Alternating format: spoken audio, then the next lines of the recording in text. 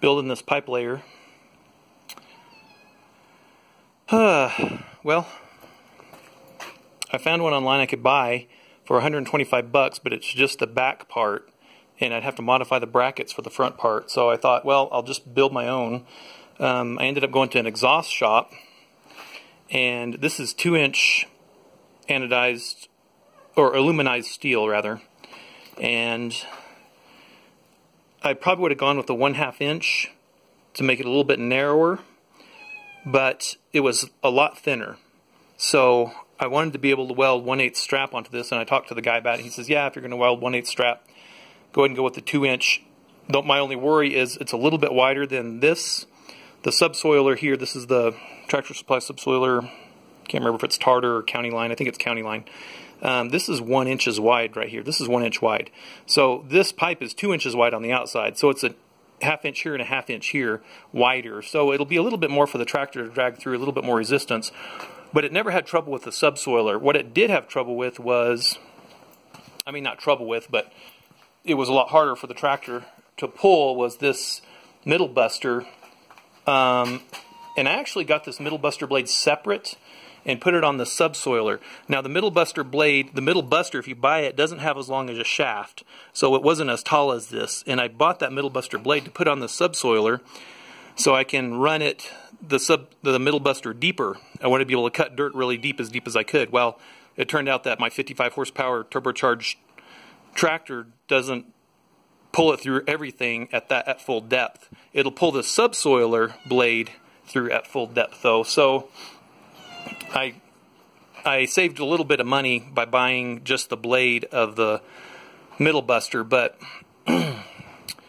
um, it's not hard to change it over. It's just two bolts.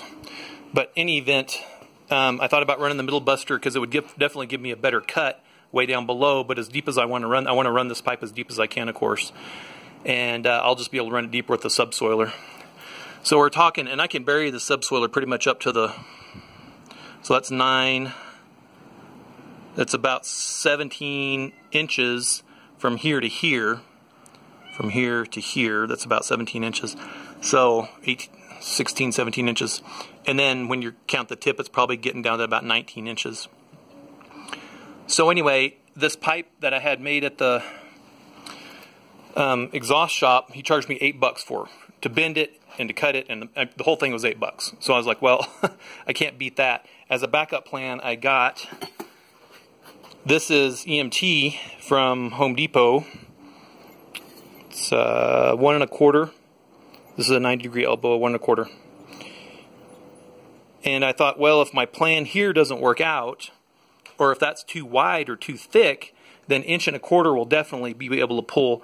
We'll definitely be able to pull it behind the tractor. Um, I mean, it shouldn't cause any more resistance than the actual subsoiler uh, shaft there itself.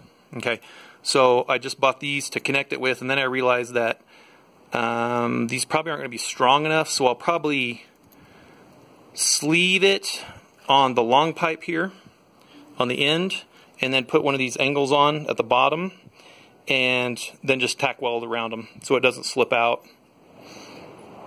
Because if this slips out, that's going to be a pain in the butt to try to fix, to dig up, and what a pain in the butt. So I don't want to do that. So anyway, I'm going to try this exhaust pipe first. I didn't angle it at quite 90 degrees. It's an 80 degree bend. Um, we did lose a little bit of space here, um, internal diameter, but that's not too much. I don't think because it's two inches. The inch and a half, I was worried I'd lose too much. And then the other thing was I've got 600 feet of run to do in one spot. And I have two 500 foot spools. I got two two different areas to do that are pretty long, and one's 600 feet. So I'll have to do 500 plus one of those 100s there. And I was going to use one of these to connect it with, and I also want to make sure that this will go down it. Um, so here's the truth. See if this will make the bend. Okay, came out the bottom. There it is. So that tells me that that'll make the bend really easily. So I can connect my pipes when I get low on. I can connect my pipes with that and that'll still make the bend. Okay, so right now I'm going to go ahead and uh, mark my straps here. I'll weld this up and um, weld some straps on. I think I'm going to put a strap here and a strap here and a strap here and And I think that's going to be it.